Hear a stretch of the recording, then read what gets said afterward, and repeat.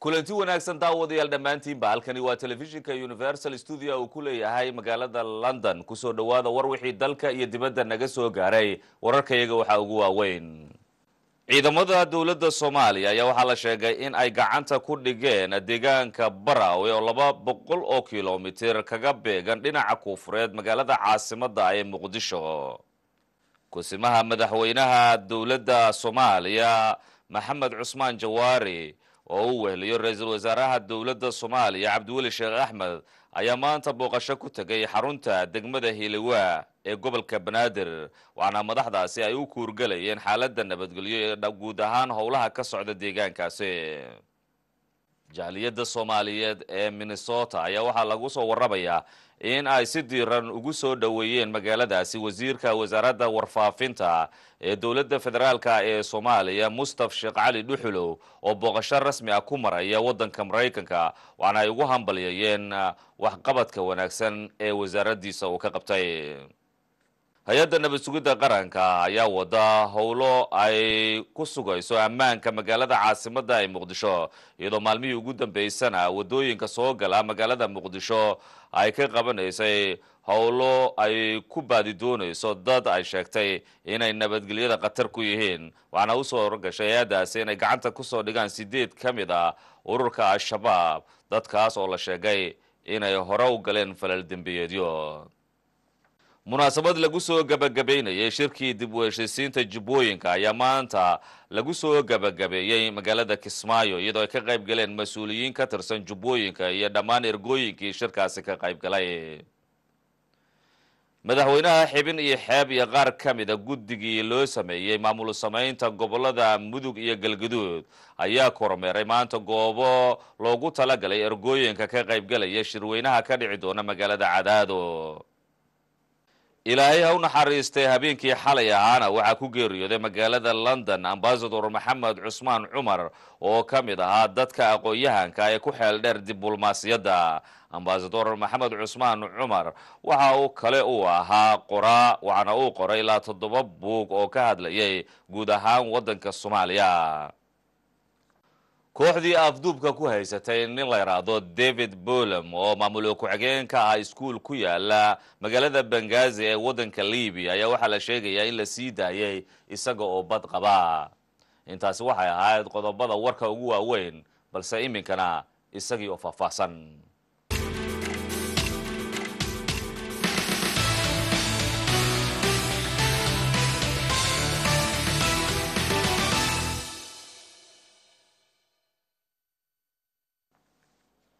ciidamada dowladda soomaaliya ayaa waxaa la sheegay in ay gacanta ku dhigeen deegaanka barawe waxaana la sheegay deegaankaasi inuu jiro laba boqol oo kilomitir kana xigo dhinaca koonfureed magaalada caasimada ee muqdisho. Qabsashadaasi ayaa waxaa la sheegay in ay ka dhigayso in guud ahaanba xeebaha soomaaliya ay gacanta ku dhigtay dowladda soomaaliya iyadoo la sheegay inay hore goobo ka tirsan xeebahaasi ay ciidamada ururka al-shabaab ay hore gacanta uga hayeen qaar ka mid ah xeebahaasi.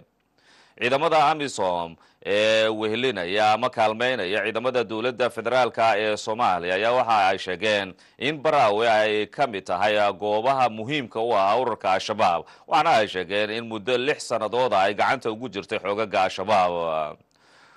weerarkaasi lagu qaaday deegaanka barawe ayaa waxaa la sheegay in dad lagu soo qabqabtay islamarkaana waxaa la sheegay in goobihii ay ka talinayso ururka al-shabaab ee deegaankaasi barawe oo muhiim u ahaa ciidamada dowladda iyo kuwa amisom ay gacanta ku dhigeen wararka ka imaanaya barawe oo dad xoogagaal yihiina waxa ay sheegayaan in inta badan xoogaga al-shabaab ay ka baxeen magaaladaasi maalintii jimcihii. Iyadoo la sheegay in aan la ogeyn ilaa iyo hadda kooxaha deegaankaasi ka baxay halka ay beegsadeen.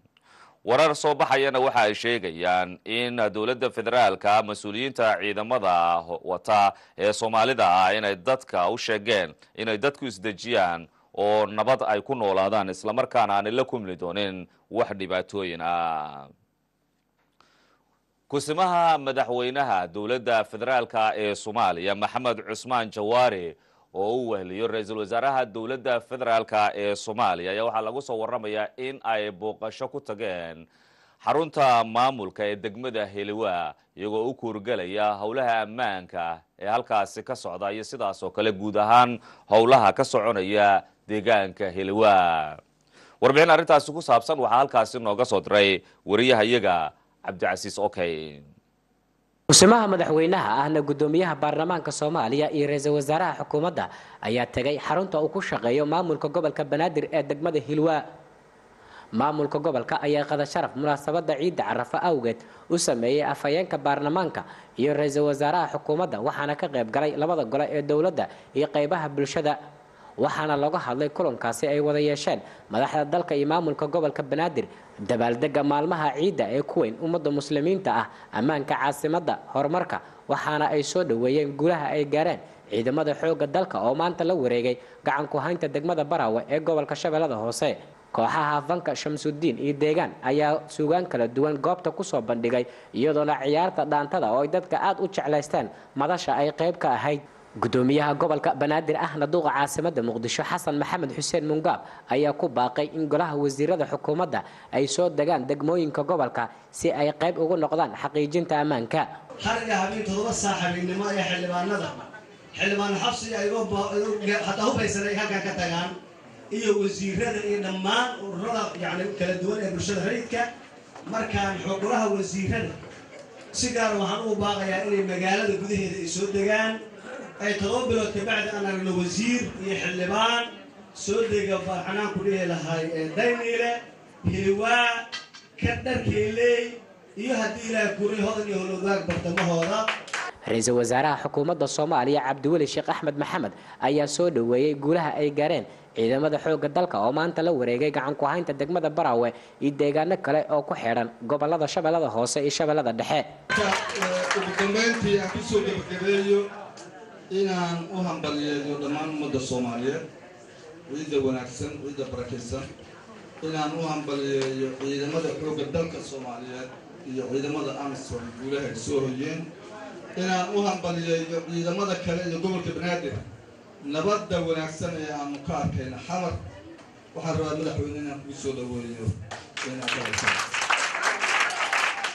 inta labaad aan rabo inaan idin soo gaarsiiyo waxaa weeye saaka guddiga joogtada ee golaha shacabka ugu fadhiistay. Ajendadiisii waxaa ku jirtay arrimo aan rabo in maarata aan aad idinku adkeeyo aan idin soo gaarsiiyo sannadkii kun iyo sagaal boqol iyo konton iyo afar laba iyo tobanka oktoobar toddobaad baan laga xiga waxay ahayd maalintii ugu horreysay oo calanka soomaaliyeed uu nicaawdi qarannimo iyo gobonnimo uu arkay bannaanka u soo baxay baa. Maalintaa ayada waxaan laga xiga toddoba beri calanka soomaaliyeed wuxuu yeelanayaa waxaa lixdan jir buu noqonaya marka mudanayaal waxaan rabaa inaan idin sheego arrinkaa ayada ah dad shan iyo labaatan jira ilaa soddon jir ah soomaaliyeed baan qiimaha calanka garanaynin aan ogeyn. Hadda waxaa la u istaajinaya guddoomiyaal degmo oo meeshaa joogo. Ma dhalan markii calankaa la sameeyo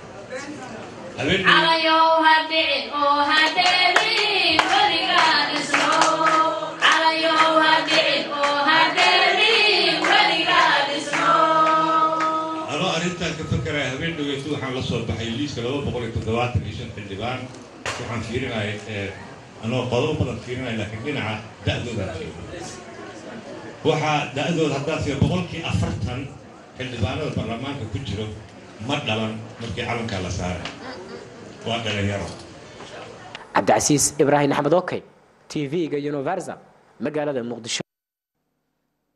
jaaliyadda soomaaliyeed ee ku dhaqan gobolka minnesota ayaa waxaa lagu soo waramayaa in si diiran ay halkaasi ugu soo dhoweeyeen wasiirka wasaaradda warfaafinta ee dowladda federaalka ee soomaaliya mustaf sheekh cali dhuxulow oo booqasho rasmi ah ku maraya waddanka maraykanka. Warbixin arrintaasi ku saabsan wariyaha iyaga sakariya aadan ayaa halkaasi nooga soo diray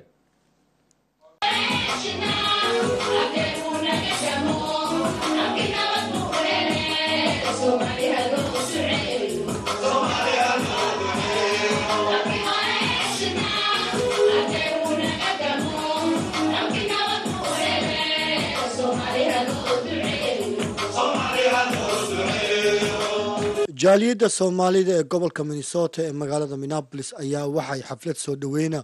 u sameeyeen wasiirka warfaafinta dowladda federaalk ee soomaaliya mudane mustafa sheekh cali dhuxulow oo booqasho ku yimid gobolka minnesoto wasiirka warfaafinta mustafa dhuxulow ayaa waxauu sheegay in ay booqasho rasmi ay ka heleen dalka maraykanka waxauu kale uu sheegay inuu la kulmay qaar ka mida madaxda dalka maraykanka ee ku sugan magaalada washington ee gobolka washington. Booqashadeeda aan ku soo aada maraykanka waxay ahayd waxaan ka helnay casuumad dowladda maraykanka state department iyo qeybo kale iyagoo runtii ay shaqada aan u hayno dalka aada iyo aada ugu qanacsanaa shaqooyinka aan u qabano dalkana runtii warbixinna waan kala qaadanay. Wasaaraddan warfaafinta wasiirka ahay gaar ahaan iyo guud ahaan warbaahinta soomaaliyana dowladda maraykanka oo rabto inay wax badan ka qabato wax nagala qabato. Sidoo kale wasiirka ayaa waxa uga digay soomaalida ku nool gobolka minnesota gaar ahaan carruurta soomaaliyeed in ay ka fogaadaan kana dheeraadaan waxyaabaha u keenaya dhibaatada. Wasiirka waxaa kaloo soo hadal qaaday ururka al-shabaab kaasoo uu sheegay in guula dowladdu federaalka ay ka gaartay magaalooyin badanna laga saaray. Sidoo kale waxau ka hadlay ururka isis oo sheegay in dhalinyarada soomaaliyeed ee ku dhaqan dalka maraykanka aysan marnaba aadin wadan kale aysan u dhalan taasoo dhibaato u keeni karta dadka soomaaliyeed ee ku dhaqan magaalada minneabolis ee gobolka minnesoto sida aada la socotiinba deegaano aada fara badanaa runtii la xoreeya dalka kuwaasoo dowladdu ay ku mashquulsan tahay inay gaarsiiso gargaar iyo inay maamulo u sameyso arrintaasoo wasaaradda arrimaha guduhu runtii shaqo aada iyo aada u wanaagsan ay ka hayso. Aada iyo aada lagu walwalsanya baryahanaa jirta runtii waa garan karnaa dhalinyada soomaaliyeed ee shaqa la'aantu hayso. Ama ku sugan dalka gudihiisa oo iska dhibaateysan ama dagaalada sukay ay saameeyeen inay ku biiraan shabaab ama ururo kale. Laakiin runtii waxyaabaha aada iyo aada loola yaabeen hadda waxaa waaye dhalinyarada dibadaha ku sugan oo runtii aada moodo inay aada uga badan yihiin kuwa ku biiraya kuwa gudaha jooga. Arrintaasoo runta u baahan la iska kaashado idinka iyo annagu sababtoo ah maanta macquul maaha qof soomaaliya oo ka soo cara soomaaliya oo dhibaatadii jirta uga soo tagay halkan unta yimaaday in caruurtiisu inta dib u laabato ay ku biirto ururo xataa ama al-shabaab ama kuwo kaloo alqaacidaa oo ka jira ama kuwa lamida ee bariga dhexe. Arrintaa waxay u baahan tahay wasiirka warfaafinta ee soomaaliya mustafa dhuxulow xafladiisa ayaa halka ku dhammaatay iyadoo dad badan oo soomaali ay ka soo qayb galeen xafladda wasiirka zakariya aadan universal t v munaasabada lagu soo gabagabeynayo shirkii dib u heshiisiinta ee ka soconayay jubbooyinka ayaa waxaa lagu soo waramayaa maanta in lagu soo gabagabeeyey magaalada kismaayo iyadoo shirkaasi ay ka qayb galeen mas'uuliyiin sarsare oo ka tirsan maamulka jubbooyinka iyo sidaas oo kale dhammaan ergooyinkii halkaasi ka qayb galay. Wariyaha iyaga halkaasi nooga soo warama ayaa warbixintan inoo soo diray munaasabadani lagu soo gabagabeynayay shirka dib u heshiisiinta jubbooyinka ka soconayay ayaa maanta waxa uu ka dhacay hoolka caymiska ee magaalada kismaayo. Munaasabadda ayaa waxaa ka soo qayb galay wafuud ka socota beesha caalamka iyo mas'uuliyiinta maamulka jubba. Iyo sidoo kale qaar ka mid ah mas'uuliyiinta dowladda federaalk soomaaliya oo iyagu in muddo ah ku sugnaa magaalada kismaayo si ay xog ogaal uga noqdaan shirka dib u heshiisiinta ee ka soconayay magaalada kismaayo munaasabada lagu soo afmeerayay shirka dib u heshiisiinta jubbooyinka inta uu socday ayaa ugu horeyntii waxaa ka hadlay wakiilka urur goboleedka igad ee soomaaliya mudane cabdi afe iyo sidoo kale safiiro ka socday dowladaha dariska la ah dalka soomaaliya. Mudane madaxweyne maanta runtii anigu maalimaha taariikhaha markii la qorayo mustaqbalka soomaaliya la qori doono maalimaha ugu muhiimsan ayay noqon doonaan maanta oo kale. Waxa weeyaan soomaalidu haddaan mahmahadeeda soo qaada intaan ka xasuusto waxaa la dhihi jiray markay ceyreenada ee heshiista xoola biyo caban sameen marka maanta wax la heshiiyey xoolihin waxaa malayna biyahoo dareeri doonaan. I would like first of all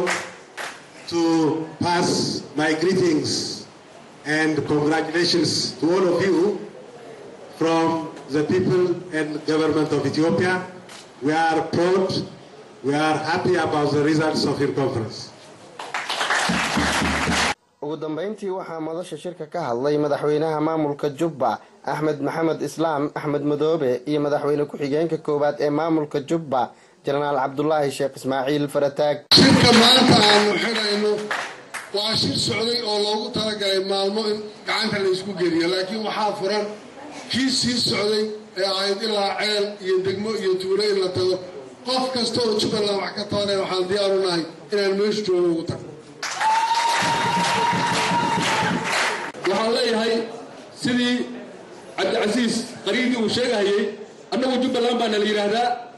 annagu ma shigshigayno annagu kalsooni baan isku qabnaa dowladda soomaaliya farriin baan u gudbinaynaa. Wixii khilaaf keeno oo gobollada ah ama isfahanwaa ah oo gobollada dhismahooda ah insha allahu tacaala inkastoo madaxweyneyga uu fadhiyo haddana jubbaland waxay diyaar u tahay inay gobollo dhigto cid walba isaysato si halkan lagu heshiisiiyo oo gobollada loogu dhiso. Sharmaarka deeq cabdi tv-ga caalamiga universal magaalada kismaayo madaxweynaha xibin iyo xeeb iyo qaar ka mid ah guddigii farsamada ee maamul samaynta gobollada mudug iyo galgaduud ayaa waxaa lagu soo waramayaa maanta in ay booqasho ku tageen goobihii loogu talagalay ergooyinka shirka ka dhici doona cadaado ka qaybgelaya warbixin arrintaasi ku saabsan magaalada cadaado waxaa nooga soo diray waryahayaga maxamed maxamuud ow aadan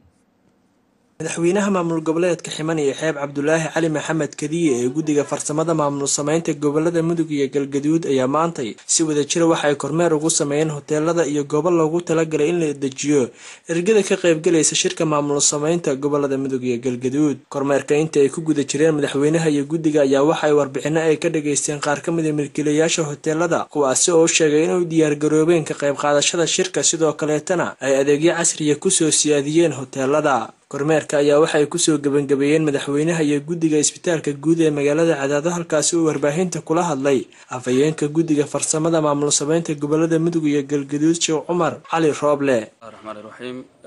maanta oo bishu ay tahay shantii taariikhdu ay tahay shantii bisha tobnaad laba kun afariyo tobanka. Waxaa noo suurta gashay alxamdulilahi rabbilcaalamiin inaan soo marno deegaano kala duwan goobihii loogu talagalay oo aan islahayn wax badan ayay ku soo kordhi karaan ayaan ku soo wareegnay. Waxaan soo aragnay dhowr iyo toban xarumood oo isugu jiraan hoolal waaweyn oo loogu talagalay shirka qaybahooda kala duwan iskuullo waaweyn jaamacado xarumo kale xarumo dowladeed ah xarumo shacab ah hoteello waaweyn oo aan isleenahay martida wax badan bay ka saacidi karaan. Cisbitaalkii oo hadda goobta ugu dambaysa oon taagannahay ah. Waxaa noo suurta gashay meelaha goobaha kala duwan aan soo marno. Alxamdulilahi rabbilcaalamiin boqolkiiba boqol ayuuna guddigu ku qancay. Maamulka iyo shacabkubana gacan weyna naga siiyeen. Hadda xarunta ugu dambayna taagannahay waa cisbitaalkii ugu weynaa magaalada. Magaalada waxay leedahay laba cisbitaal cisbitaal bareefada iyo cisbitaalka maamulka hoostaga aad iyo aad ayaan ugu qanacsannahay inuu baahida loogu talagelaya iyo in ka badanba uu qaba karo welina waa noo socotaa indhaindhayntu berriya meeshaad nooga sii bilaaban doontaa. Aad iyo aad aad umahadsantahay asalamu calaykum maalmihii la soo dhaafa ayaa cadaado waxaa ku sugnaa xubno ka tirsan guddiga farsamada maamul samaynta gobollada mudug iyo galgaduud kuwaasi oo ku horgelayay xaalada guud ee magaalada cadaado. Maxamed maxamuud owaadan tv-ga caalamiga universal cadaado. Maalmihii ugu dambeeyey magaalada muqdisho waxaa ka soconayay howlgallo baaxad leh oo ay ka wadeen ciidamada nabad sugidda qaranka soomaaliyeed waxaana lagu soo waramayaa waddooyinka soo gala magaalada muqdisho in ciidamada nabad sugiddu ay baaritaano lixaad leh oo lagu hubinayo dadka magaaladaasi soo galaya inay waayihii ugu dambeeyey ay ka soconaysay. Xog ay hesha ciidanka nabad sugidda qaranka sida uu sheegay afhayeenka wasaaradda amniga qaranka ayaa waxaa la sheegay in lagu soo qabqabto ciidamada nabad sugidda qaranku ay soo qabqabteen sideed qof oo lagu eedeynayo in ay dembiyo hore u galeen warbixin arrintaasi ku saabsan waryahayaga salmaan jamaal saciid ayaa muqdisho nooga soo diray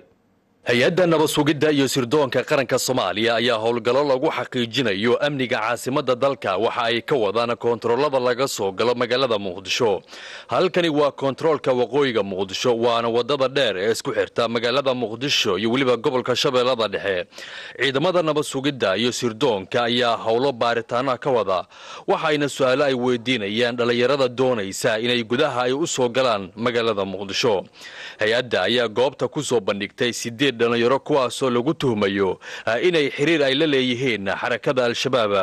Afhayeenka wasaaradda amniga qaranka ee dowladda soomaaliya maxamed yuusuf oo goobta gaaray ayaa ugu horreyn waxa uu faahfaahin uu ka bixiyey. Howlgalladani ka socda waddooyinka soo gala magaalada muqdisho. Sida hadda halkan idinkaga muuqataba dadka waa la baarayaa. Qaarna waa dad la soo tuhmay oo sideedan qof oo meeshaan fadhisaad ujeedaan waa dad warbixintooda ay ka soo horreysay oo shacabku ay noo soo sheegeen oo hay'adda sirdoonka iyo nabad sugidda qaranka soomaaliyeed ay ku guulaysatay inay qabato oo qaarkood xataa dhaawacyaa ka muuqda sidaa ujeedaan waa dad la yaqaano oo dadka ku garaaci jiray qaarkood balcad ku garaaci jiray waagii shabaabku ay haysteen. Waa dad la shaqayn jiray maleeshiyadii shabaab waa dad warbixintooda ay ka soo horreysay. Hay'adda sirdoonka iyo nabad sugidda qarankaana u suurta gashay inay xogtaas iyo xuuraankaas hesho islamarkaasna ay ka hortagto khatartaas soo geli lahayd magaalada muqdisho. Afhayeenka wasaaradda amniga qaranka ayaa sidoo kale hambalyo ku aadan munaasabadda ciidda. Waxa u diray ciidamada ku howlan xaqiijinta amniga dalka. Tahniyadda maxaa la yidhaahdaa oo ciidda aan u dirno dhammaan ummadda soomaaliyeed gaar ahaan ciidamada amniga ee ka shaqaynaya amniga beryihii la soo dhaafay ciidamadaas iyo xaasaskooda iyo caruurtooda. Waxaan rabnaa marka hore inaan dhahno ciid mubaarak hawsha ay qabteenna aan ku ammaano runtii waa howl muuqata oo amniga magaalada muqdisho iyo amniga guud ahaan dalka sida cadowga ay la rabeen aysan u noqonin oo ka hortag fara badan ay sameeyeen ciidamada maxaa la yidhaahdaa dhammaan amniga ka shaqeeya ka hortag fara badan ay sameeyeen. Salmaan jamaal siciid tv-ga caalamiga universal magaalada muqdisho xaaladda magaalada cadale ee ka tirsan gobolka shabeellada dhexe oo ah dhulxeebeed ayaa waxaa lagu soo waramayaa in ay soo kabanayso tan iyo intii ciidamada dowladda federaalka iyo kuwa amisom ay gacanta ku dhigeen xarun ayay u ahaan jirtay ururka al-shabaab. Waxaana lagu soo waramayaa iminka kalluumaysatadii deegaankaasi oo caan ku ahaa xagga kalluumaysiga inay dib ugu noqdeen howlahoodii oo doonyahoodii ay dib u howlgeliyeen islamarkaana kalluun fara badan ay dadku halkaasi ka kalluumaysanayaan warbixin arrintaasi ku saabsan wariyahayaga cabdulaahi axmed nuur ayaa muqdisho inooga soo diray. Xaaladda degmada cadale ee gobolka shabeellaha dhexe ayaa degan kadib markii maalmihii la soo dhaafay ay halkaasi gaareen ciidamada dowladda iyo kuwa midowda afrika ee amisom xarakada al-shabaab ayaa waxa ay muddo dheer gacanta ku hayeen magaaladaasi iyadoona ahayd mid ka mida magaalooyinka muhiimka ee ku yaalla waddada xeebta ee xidhiirisa magaalooyinka muqdisho iyo magaalooyinka kale ee gobolka shabeellaha dhexe kalluumaysiga oo ah mid ka mid a waxyaabaha uu ku tiirsan yahay dhaqaalaha magaalada ayaa si caadiya u socda waxaana xeebta dheer ee magaaladaasi iyo guud ahaan xaaladda cadalo booqday saraakiisha ciidamada dowladda kuwa amisom iyo xildhibaano ka tirsan baarlamaanka kuwaasi oo uu hogaaminayay xildhibaan cumar maxamuud cumar finish magaalada cadale waa magaalo xeeb ah qadiimi ah aad yo aad istaraatiiji ugu ahayd. Adeegsiga cadowga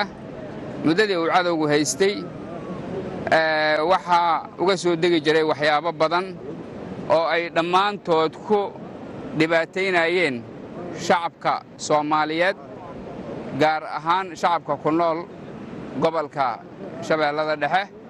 iyo gobolka banaadirba. Riverian diambaji oo ah sarkaal ka tirsan ciidamada burundi oo halkaasi ku sugan ayaa sheegay in hadda ay tahay wakhtigii shacabka deegaanadaasi ay ka fikiri lahaayeen mustaqbalkooda islamarkaana ay qabsan lahaayeen adeegyadii ay u baahnaayeen mais aussi la population va recevoir beaucoup magaaladani ku nool waxa ay bilaabi karaan inay dib u dhisaan ama ay u dhistaan dugsiyadooda goobahooda waxbarasho iyo sidoo kale wadooyinkaba kooxda al-shabaab waxa ay markii hore u isticmaali jirtay dekedda magaaladan in ay ka soo dejiyaan dagaalyahanada ajaanibta ah oo waxa ayba ahaydba albaabka ay argagixisadu ka soo galaan waddanka soomaaliya inta badan deegaanada gobolka shabeellaha dhexe ayaa hadda gacanta u galay dowladda soomaaliya taasina waxa ay hoos u dhigtay awooddii maamul ay al-shabaab ku lahaayeen guud ahaan gobolka shabeellaha dhexe. Cabdulaahi axmed nuur universal t v muqdisho. Wasiirka wasaaradda hiddaha iyo tacliinta sare ee dowladda federaalka ee soomaaliya ayaa waxaa lagu soo waramayaa in uu ka qayb galay munaasabad lagu furayey jaamacad la yidhaahdo atlas oo laga hirgeliyey magaalada muqdisho warbixin arrintaasi ku saabsan wariyaha iyaga hani xaaji maxamed ayaa muqdisho nooga soo dirtay. Jaamacadda adlas oo ah jaamacad cusub islamarkaana qayb ka noqon doonta jaamacadaha ku yaalla magaalada muqdisho ayaa maanta munaasabadii lagu daafurayay jaamacaddan waxaa lagu qabtay gudaha magaalada muqdisho. Munaasabadda ayaa waxaa goobjoog ahaa wasiirka hidaha iyo tacliinta sare xukuumadda soomaaliya iyo wasiirka shaqada iyo shaqaalaha dalka xubno ka socday baarlamanka federaalk soomaaliya ururada bulshada rayidka aqoon-yahano iyo sidoo kale marti sharaf kale. Ujeedka loo hirgelinayo jaamacadda atlas iyo waxaa xilligan ku soo beegay waxaa munaasabada ka sheegay mudane fawzi maxamed barow oo ah gudoomiyaha jaamacadda atlas. Waxay ka kooban tahay afar kulidood ama afar fakarti waana ugu bilownay ama aan ugu talagalnay inaan jaamacadda hordhac u noqoto. Midda hore waa computer science iyo i t midda labaad waa xiriirka caalamiga iyo duuneesyada kuliyada saddexaad dhaqaalaha iyo muxuu ahaa ganacsiga kuliyada afraad waxay noqonaysaa management and leadership maamulka iyo hoggaanka jaamacadda waxay kaloo leedahay qeybo kale oo raacsan oo ugu horeeyo center of research. Xarun cilmi baaris oo aad moodo inta badan la tilmaamo. Meelaha soomaalidu ay ka dhimatayna ay tahay. Dadka soomaalidu waxbay bartaan aqoon-yahana way leeyihiin jaamacadana ay leeyihiin gudoomiyaha ururada bulshada rayidka ayaa dhankiisa sheegay in ay soo dhaweynayaan jaamacadda islamarkaana ay la shaqeyn doonaan mas'uuliyiinta jaamacadda marka yani waxaan rajaynaynaa tiradaas badan ee ah waxbarashada iyo wasiirada iyo qabaa'ilka iyo kooxaha bulshada iyo ciidamada inay marka dambe akritaanka ay ku biyo shuban doonaan inay tayo wanaagsan ina inay dhalaan. Rajadeennuna dabcan waxa weeyaan iyo himiladeennuba waa taas taas ayaanan idinkugu mahad celinaya anigoo ku hadlaya magaca bulshada oo dhan maaha bulshada jaamacadaha bulshada rayidkaa jaamacadu inay hogaamiyaan waaye. Macaahidda daraasadu inay hogaamiyaan waaye. Sidoo kale waxaa dadaalada ay wadaan mas'uuliyiinta jaamacadda cusub ee atlas soo dhaweeyey wasiirka hidaha iyo tacliinta sare ee xukuumadda soomaaliya mudane ducaale aadan maxamed. Oo munaasabada ka hadla ayaa sheegay in jaamacaddan ay noqon doonto mid wasaaradiisu ay aqoonsan tahay hadda wixii ka dambeeya. Diyaar baan idinla nahay. Jaamacaddana waan garab taaganahay hiil iyo hoo wixii xaggaa soo galana albaabka wasaaradduna waa idiin furayahay ilaahay idinkii waan idinla dhisaynaa waan idinla garab taaganahay aada iyo aad baan runta uga mahadnaqayaa ballanqaadka fiicnaayo uu sameeyey. Dadka iyaga waxaa u badan inaa saboolnimada iyo danyarnimada ayaa ah qodobka ku xoog badan. Ilmihii yaraa ee lala soo tacaalay waalid isaguba iska rafaadsan ay si xilla dugsi sare uga soo saareen. Marka uu jaamacad haweysto way adag tahay. Yani inta badan waalidka way ku adag tahay inay jaamacaddii lacag ka bixiyaan. Doctor fawzi wuxuu ballan qaaday meel ay noqotay iyo si ay la gashaba. Arrintaa inay xalinayaan aada iyo aad baan u xasuusanahay hoostan uga xariiqaynaa. Annaguna codkayaga waa idinku kabnay gacanna waa idinku siinaynaa in dadka danyarta ah si gooniya tixgelin loo siiyo. Han maxamed universal t v muqdisho xubnaha ururka dhallinyarada qaranka soomaaliyeed ayaa kulan kula yeeshay magaalada muqdisho. Guddoomiyeyaasha ururada dhallinyarada ee gobollada qaarkood oo guddoomiyeyaashoodu magaalada muqdisho ay ku sugan yihiin. Shirkaasi sida u dhacay wariyahayaga cabdicasiis okey ayaa muqdisho nooga soo diray. Xubnaha ururka dhallinyarada qaranka soomaaliyeed ayaa kulan la yeeshay guddoomiyeyaasha ururada dhallinyarada gobollada soomaaliya oo ku sugan caasimada wadanka ee magaalada muqdisho ururka dhallinyarada qaranka soomaaliyeed ayaa warmurtiyeed ka soo saaray kulankooda waxaana saxaafadda u aqriyay guddoomiyaha ururka dhallinyarada gobolka hiiraan maxamed cabdulaahi buraale oo sheegay in dhallinyarada ay ku midoobeen ururka dhallinyarada qaranka soomaaliyeed waxaana hay'adaha dowladda ugu baaqay in ay la yimaadaan waxqabadkii dhallinyarada dhallinyarada maaragtay gobollada waxay ku midoobeen ururkii dhallinyarada qaranka soomaaliyeed laga bilaabo maanta maadaama ururka dhallinyarada qaranka uu dhisnaay haddana maaragtay xiriirka uu iska gaabnay maanta waxaan adkaynay maaragtay aan dib boorka uga jafnay ururkii dhallinyarada qaranka soomaaliyeed. Qodobka labaad in dhallinyarada gobollada dalka oo dhan ay wakiilo joogta ay ku yeeshaan maaragtay gobolkan banaadir. Maaragtay wakiilo ay ku yeelan doonaan oo ka kala matiri doona goboladii maaragtay ay ka soo jeedaan. Qodobka saddexaad in shirarka la qabanayo in ay guud ahaan ka dhacaan gobollada dalka. Waxaa soo socda shirar dhallinyarada soomaaliyeed ay qabsan doonaan oo maaragtay ururka dhallinyarada qarankana uu martigelin doono marka waxaa lagu qaban doonaa gobollada dalka hadba gobolkii maaragtay markaas aan u garanno iyo casuumaadiisa soo hormarto faadimo cabdi warsame oo ah guddoomiyaha ururka dhallinyarada qaranka soomaaliyeed ayaa madasha ka sheegtay inuu dhammaaday hadalkii ahaa dhallinyarada ma mideysno. Waxaana ay dowladda ugu baaqday inay kala tashato siyaasadda dhallinyarada waxaan rabaa marka intaa wixii ka dambeeya in aan sugnada ballanqaadyadii dowladdu ay fulisay ee ahaa haddii aad soo midoobdaan waxaan diyaar u nahay inaan wax badan sameyno oo ay qayb ka tahay national youth parliamentary oo naloo ballanqaaday national youth conference oo aan sugayno iyo weliba inaan qayb weyn ka noqono sameynta siyaasadda dhalinyarada soomaaliyeed intaa wixii ka dambeeya waxaan isku dhaarsanay manihi dad dana goonihi raadinaya maaha dhalinyarada soomaaliyeed waxa aan raadinayno waa dan guud waxaan raadinaynaa inay meesha ka baxdo dhalinyarada soomaaliyeed waa qaswadayaal inay meesha ka baxdo dhalinyarada soomaaliyeed waa la waayo doorka ay dalka ku lahaayeen waxaa sidoo kale cugdad nagu noqotay oo xanuun nagu noqday saddex iyo toban dhalinyaro soomaaliyeed ah oo nabadan keenay waxaan ku kaftanaa waana laga xoogay waan keenay laakiin waxba kuma faa'iideyn markaa dhalinyarada ilaana laakiin dadkan educatedka ee waxbartay ilaa heerka master gaarsiisa maxaa wax u qaban weyseen? Maadaama saddex iyo toban dhalinyaro soomaaliyeed oo aan waxba baranin xitaa access fiican aan haysan fududeynta adeegyada ay qabanayeen ee aada u yareen ay wax badan dalka u qabteen. Dhalinyarada ayaa ah lafdhabarta bulshada waxaana muddooyinkii dambe ururka dhalinyarada iyo wakiiladooda gobollada ay ahaayeen kuwo ka dhex muuqday bulshada. Cabdicasiis ibraahim axmed okey t v-ga universal magaalada muqdisho hay'adda bisha cas ee imaaraadka carabta ee fadhigeedu yahay magaalada muqdisho ayaa deeq gaarsiisay dad barakacyaal ah oo xero qaxooti ku jira magaalada muqdisho. Warbixin arrintaasi ku saabsan waa kan waryahayga salmaan jamaal siciid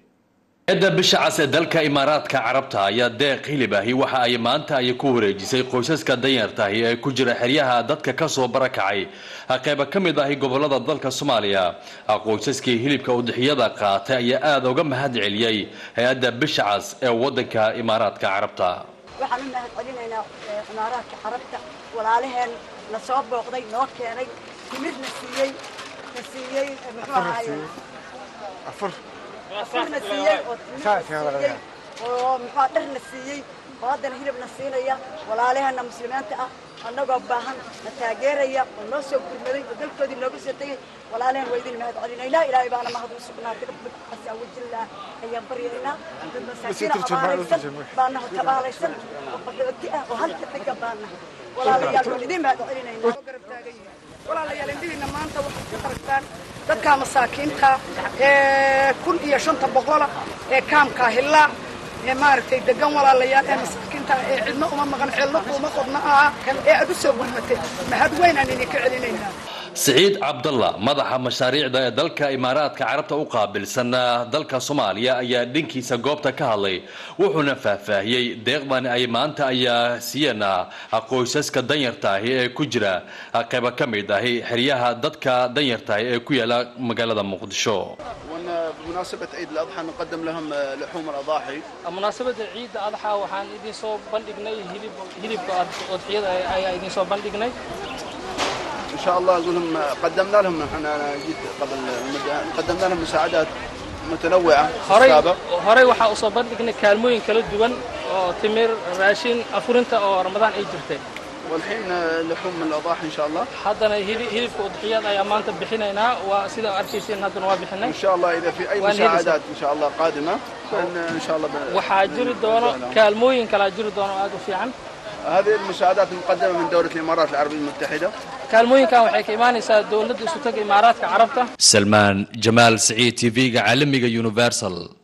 magaalada muqdisho ilaahay u naxariistay magaalada london waxaa ku geeriyooday ambasador maxamed cusmaan cumar oo ka mid ahaa aqoon-yahanada sida aadka ugu xeelka dheer diblomaasiyadda ambasador maxamed cusmaan cumar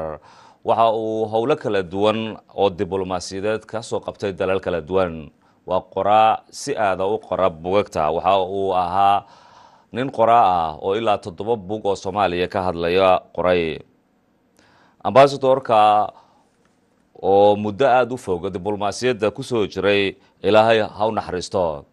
maxamed aadan xirsi terra oo ka mid ah wariyaasha telefishinka universal ayaa warbixin kooban oo taariikh nololeedkiisa ka diyaariyey waana tan warbixinteed inaa lilaahi wa ilayhi raajicuun. Maxamed cusmaan cumar allaha u naxariistay oo shalay ku geeriyooday dalka ingiriiska magaalada london. Waxa uu ahaa weriye qoraa diblomaasi rugcadaaya iyo weliba fanaan aan loo wada aqoon danjire maxamed cusmaan cumar waxa uu ku biiray wasaaradda arrimaha dibadda ee dalka soomaaliya kun sagaal boqol iyo lixdan iyo toddobadii wuxuuna shaqadii diblomaasiyada ee u horreeyey ee loo magacaabay kun sagaal boqol lixdan sideed ahayd xogayaha saxaafadda iyo maaliyadda ee safaaraddii soomaaliya dalka ingiriiska. Bartamihii kun sagaal boqol iyo toddobaatankii waxaa loo magacaabay xogayaha koowaad ee safaaraddii dalka soomaaliya ee china. Waxa uu ku soo laabtay dalka soomaaliya wuxuuna ku biiray tababarkii xalane kun sagaal boqol iyo labaiyo toddobaatankiina waxaa loo magacaabay markuu xalane soo dhammaystay waaxda habmaamuska chief protocolka wasaaradda arrimaha dibadda ee dalka soomaaliya. Isagoo hayay xilkaasi waqtigii shirkii o a u lagu qabtay magaalada muqdisho. Waxaa loo bedelay jamhuuriyadda islaamiga iiraan si uu uga fura safaaraddii soomaaliya ka furanaysa dalka iiraan isagoo ahaa charles dafer ilaa safiir cusub loo soo magacaabo safaaradda tanzania ayaa loo bedelay wuxuuna ka noqday qunsul ilaa kun sagaal boqol iyo siddeetankii kun sagaal boqol iyo toddobaatan iyo sagaalkii isagoo qunsulah ayaa waxaa loo bedelay dalka yugoslaviya oo la ohan jiray si uu safaarad cusub uga soo furay isagoo loo magacaabay charles dafereska kadibna waxuu ku soo laabtay dalka tanzania oo halkii ka sii waday xilkiisii qunsulka guud ilaa kun sagaal boqol iyo siddeetankii kun sagaal boqol iyo siddeetankii waxaa lagu soo celiyay dalka soomaaliya wuxuuna islamarkiiba loo magacaabay waaxda habmaamuuska ama chief protocolka wasaaradda arrimaha dibadda mar labaad maxamed cusmaan cumar isagoo ah chief protocolka ayaa waxaa loo diray dalka tunisia si uga soo furo safaarad cusub oo dalka soomaaliya ka furanayay. Dalkaasi tunisia isagoo charles dafersna ka ahaa ilaa danjire cusub loo soo magacaabay iyadana. Kun sagaal boqol iyo labaiyo siddeetankii maxamed cusmaan waxaa loo magacaabay danjiraha soomaaliya ee waddanka suudaan kun sagaal boqol iyo siddeetan iyo sagaalkii maxamed allaha u naxariistay waxaa loo magacaabay danjiraha dalka soomaaliya ee waddanka india isagoo islamarkaana loo magacaabay danjire madegana ka ahaa dalalka singabore iyo srilanka maxamed cusmaan cumar allaha u naxariistay ka hor intii uusan ku soo biirin wasaaradda arrimaha dibadda ee dalka soomaaliya. Waxaa intii u dhexaysay kun sagaal boqol iyo lixdan iyo labadii kun sagaal boqol iyo toddobaatan iyo lixdii uu ka soo shaqeeyey wasaaraddii warfaafinta isagoo wariye ka noqday wargeyskii la ohan jiray il koryera de la soomaaliya ee afka talyaaniga ku soo bixi jiray. Maxamed cusmaan cumar waxa uu ku wareegay mar kale wasaaradda wakaaladii wararka ee dalka soomaaliya ee sona oo uu wariye ka noqday maxamed cusmaan cumar oo aan saaxiib ahayn. Waxa uu ii sheegay in howlihii uu ka soo qabtay wariyanimada intii warfaafinta ka mid a ay ka mid ahaayeen. Inuu ahaa wariyihii la socday madaxweynihii u horreeyay dalka soomaaliya aadan cabdulla cusmaan allaha u naxariistay oo booqday magaalada jowhar kun sagaal boqol lixdan afartii jowhara gubatay. Waxaa kaloo uu ii sheegay inuu ahaa wariyaha soona uga soo warramayay lowyacaddo markii gumaysiga faransiiska dalka jabuuti uu ka qaadayay aftidii la ohan jiray we o no. Waxaa kaloo uu ii sheegay inuu ahaa wariyihii u horreeyey markii la furayay dekeda magaalada berbera soona uga soo warramayay. Kun sagaal boqol iyo konton iyo lixdii xilligii dalka talyaanigu kun sagaal boqol iyo konton iyo afartii xilligii dalka talyaaniga uu maamulayay koonfurta dalka soomaaliya kuna hayay tarasashiibkii qaramada midoobay. Maxamed isagoo da'yar waxa uu ka mid ahaa dhallinyaradii loo xulay ka shaqaynta tirakoobkii dadkii ku noolaa magaalada muqdisho. Kun sagaal boqol iyo konton iyo shantiina maxamed waxa uu ka soo bilaabay shaqo g b o ama general post officekii oo uu khasnaji ka noqday ilaa uu ka gaaray xisaabiye guud. Markii uu ka tegay shaqada boostadana waxa uu shaqo ka helay barlamaankii dalka soomaaliya isagoo yaqiinay fartii loo yaqiinay stenografiyada ama markaa wax la qoraya la soo gaabiyo. Maxamed cusmaan cumar waxa uu guursaday maano macalin ibraahim oo toddoba carruura u dhashay maxamed cusmaan cumar. Waxa uu ka qayb galay shirar badan oo caalamiya oo isugu jiray kuwii qaramada midoobay jaamacadda carabta ururka islaamka midooda africa igad iyo dalalkii dhexdhexaadka ahaa. Maxamed wuxuu mutaystay abaalmarino kala duwan waxaana ka mid ahaa wasaaradda warfaafinta toddobadii u aqoonsatay the man of the year of the ministry qofkii ugu shaqo wanaagsanaa wasaaradda warfaafinta sanadkaasi. Isagoo markaasi ahaa kusimaha agaasimaha wakaaladii soona maxamed cusmaan cumar waxa uu ka hadli jiray afafka soomaaliga carabiga talyaaniga ingiliiska wuxuu kaloo fahmi jiray afafka faransiiska isbaanishka hindiya iyo chineska maxamed oo dhashay kun sagaal boqol iyo soddon iyo toddobadii kuna dhashay magaalada muqdisho waxa uu qoray toddoba boog oo afka soomaaliga ama soomaaliya uu kaga warramaya dhammaantood. Maxamed waxa uu qoray oo kale maqaalado kala duwan oo uu ku qoray afka ingiriiska afaf uu ka mid yahay waxaana ka mid ahaa somalia original bevian plan welcomed and in 1889 and 1954 treaties repudiated. Waxaa kaloo kaasoo uu kaga hadlayay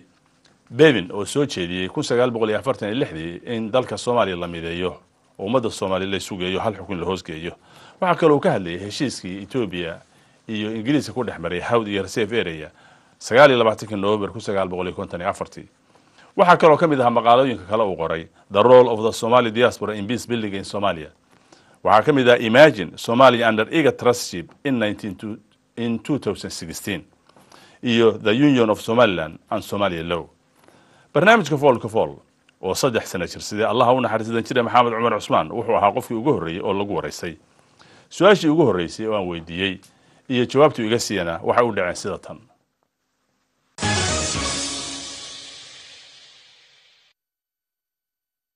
Waxaanu barnaamijka ku soo qaadaynaa mowduuca halku dhegiisu yahay diblomaasiyada iyo saamaynta ay burburka soomaaliya ku leedahay. Waxaanuna arrintaas waraysi kala yeelanaynaa maxamed cusmaan cumar oo ah suxufi diblomaasi qoraa. Waa waayo arag jooga waqti aan soomaalidu qofka ogaalka ah aan noo xilqabin. Maxaa xusuustaada ku soo dhacay markii laguu sheegay in barnaamijkan lagu waraysan doono? Marka hore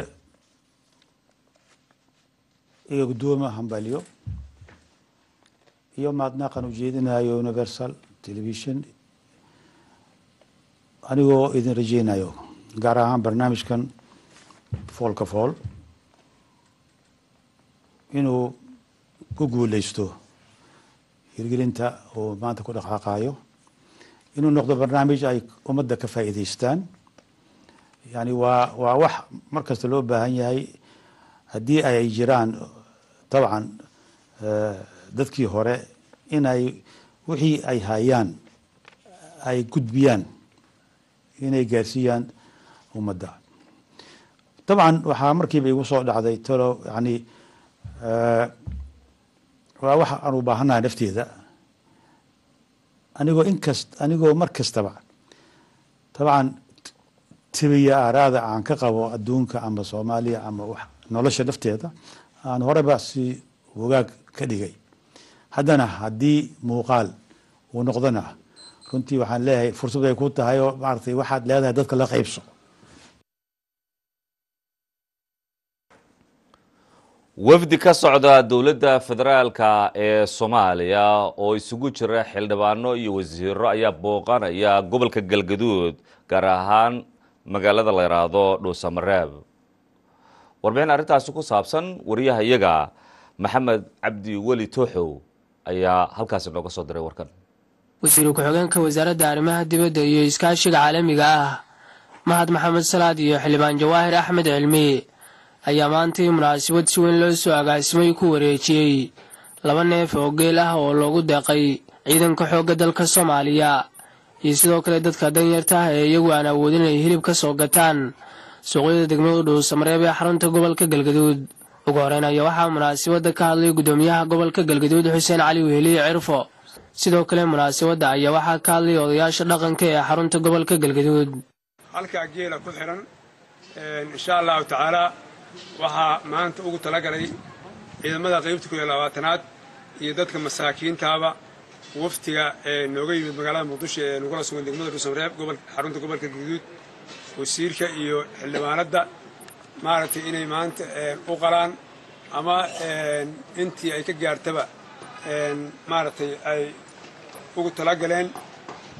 xarunta qaybta kooiyo labaatanaad ciidanka in laga siiyo qayb qayb neefka kalena loogu talagalay dadka masaakiinta ah ee tabaalaysan ee aan runtii ayagu aan xoolana qala karinin wax badanna aan suuqa ka soo iibsan karinin ee danyarta ah ee degmadan dhuusamareeb ku nool. Waxaan guddoomaynaa oo haddana aan guddoomaynaa geela halkan ku xiran oo ay soo keeneen wasiir ku-xigeenka iyo xildhibaanku. Waa iyagana waxaan ka guddoomaynaa si gacalo lahoo sharaf le ayaan ugu guddoomaynaa gobol ahaan baan u guddoonnay haddana annagaa sii kala guddoomi doonna haddii alla idmoo sii qaybsan doonna. Iyagu waxaan leeyahay waa mahadsan tihiin mahad ilaahay baa leh. Ugu dambayntii ayaa munaasabadda waxaa ka hadlay xildhibaan jawaahir axmed cilmi. Waxaana hadalladeedii ka mid ahaa neef geela oon ugu talagalnay ciidanka xoogga dalka soomaaliyeed inay ku ciidaan maanta ciidda weyn ee ay dhibaataan sidoo kale inaan ayagana guddoonsiino maamulka degmada iyo odayaasha degmada muxuu ahaa guurtida ee gobolka oo ayadana uu hogaaminayo muxuu ahaa cilmi xirsi. Inaan guddoonsiino ayagana neefka kale si ay u gaarsiiyaan dadka masaakiinta ah ee ayagu aanan muxuu ahaa qalan karin xoolaha sida horeba loo sheegay. Maxamed cabdiweli tooxow tv-ga universal. Roobab lixaad leh oo hakiyey gaadiidka dadweynaha iyo isu socodka ayaa lagu soo waramayaa in ay ka degeen nawaaxiga iyo gudaha magaalada qardho ee puntland. Warbixin arrintaasi ku saabsan wariyaha halkaa nooga soo warama nimco xasan bakaal ayaa inoo soo dirtay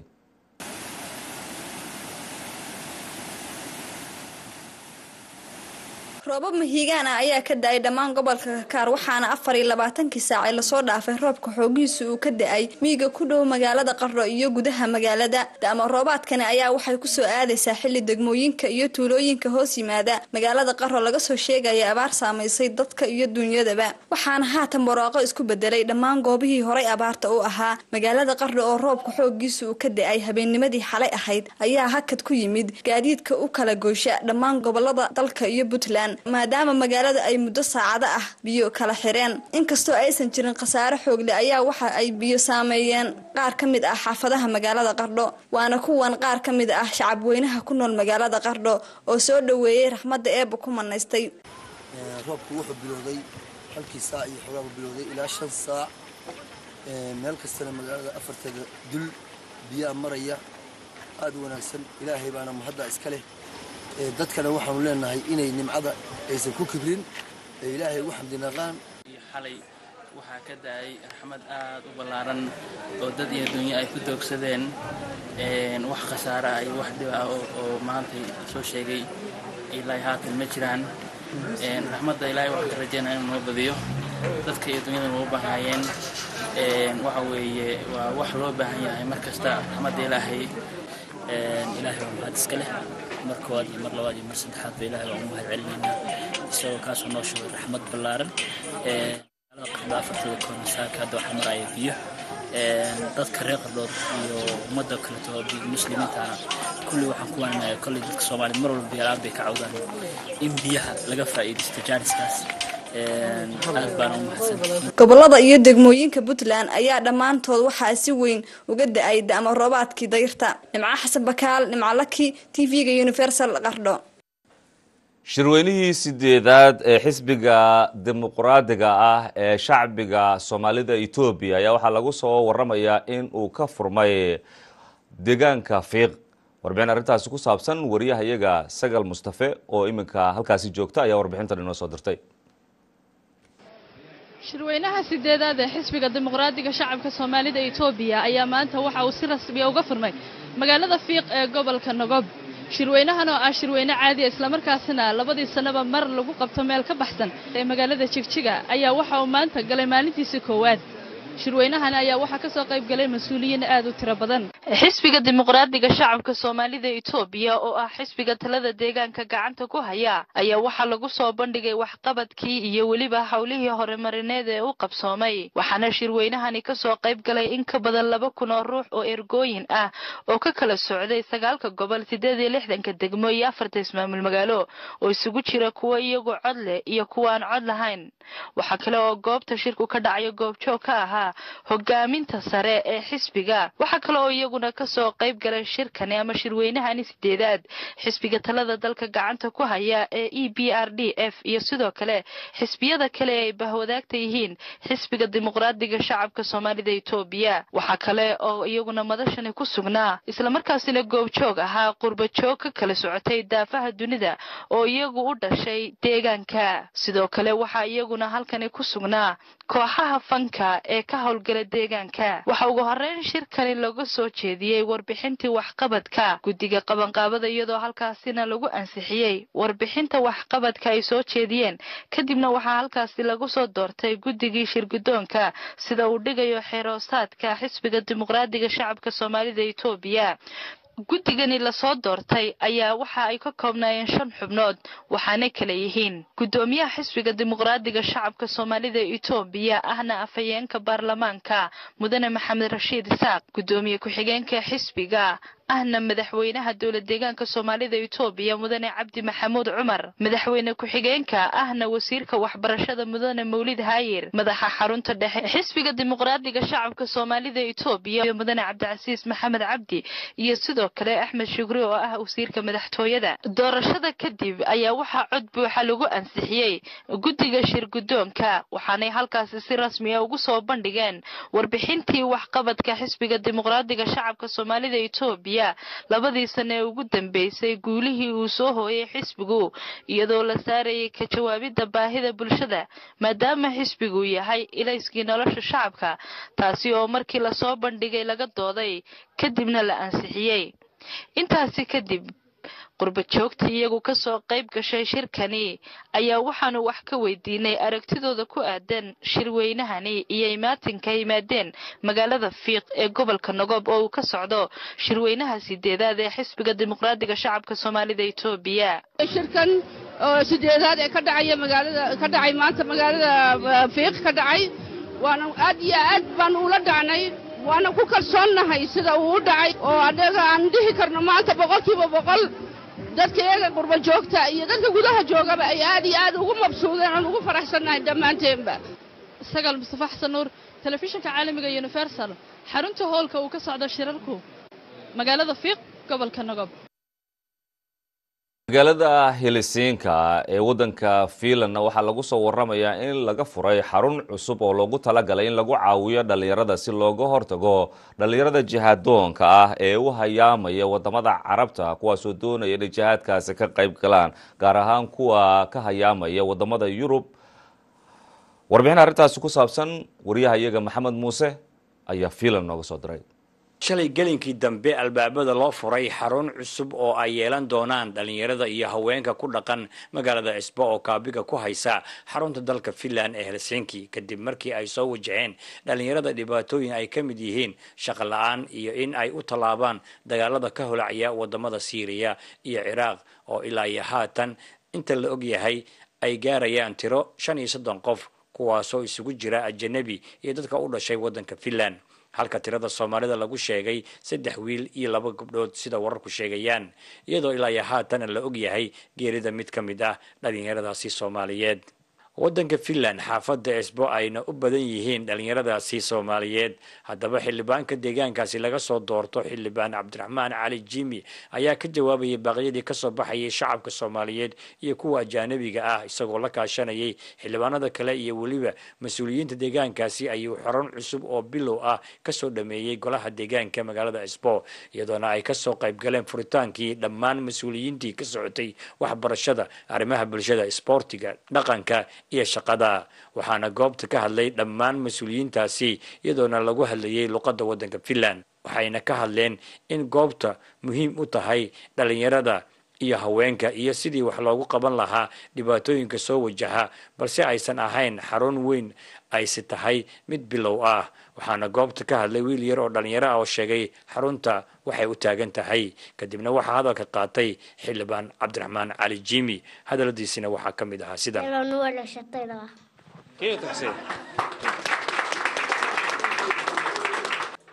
mudanayaal ilmarwooyin waxaa maanta farxad weyn oo aada u weyn inoo ah. Maanta inaan maanta meeshaan oo kale aan muddo raadinaynay inay maanta inoo qabsanto inaan ilaahay fadligiisa aan maanta helno meel dhallinyaradii ee wakhtigooda ku qaataan. Halkan iskama imaan si sahla kuma imaan. Waxay ku timid dadaal fara badan oo aan u galnay. Inaan raadino dhallinyarada meelay wakhtigooda ku qaataan ee ku kulmaan. Nasiib wanaag maanta aynu suurta gashay meeshaani dhallinyarada ay ku kulmaan reer esbo. Aad iyo aad ayaan arrintaas ugu faraxsanahay waxaan haddaba idinka rabaa dadka inaa waxyaalaha la sameeyo soomaalida wixii cusub inay ku taageeraan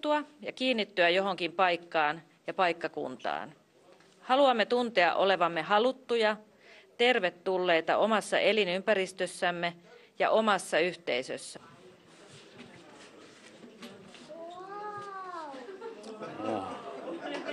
No niin.